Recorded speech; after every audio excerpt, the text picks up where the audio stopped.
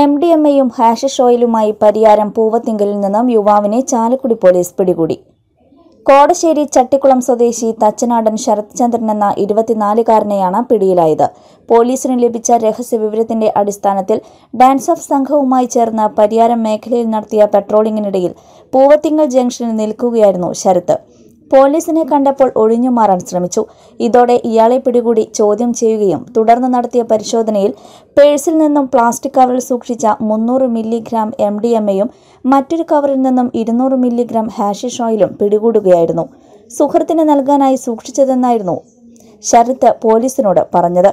S ഐമാരായ Shaju Edathadan C V Davis dance അംഗങ്ങളായ B J Stephen P M Moosa V U Siljo C P O J U Siju എന്നിവരും പ്രതിയെ പിടികൂടിയ സംഘത്തിൽ ഉണ്ടായിരുന്നു.